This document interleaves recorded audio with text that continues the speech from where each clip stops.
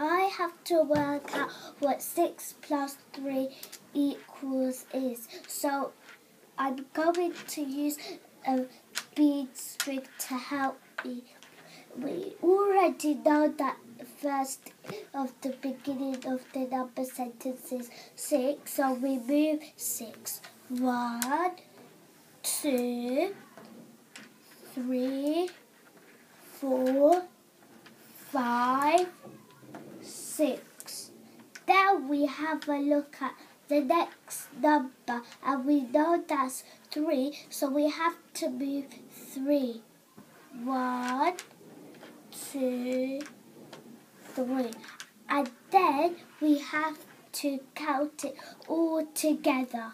1, 2, 3, 4, 5, 6. That's 6 so then we have to count 3 more. One, two, three. and then we have to count them all together again. One, two, three, four, five, six, seven, eight, nine. So the answer is nine and I have to write it down.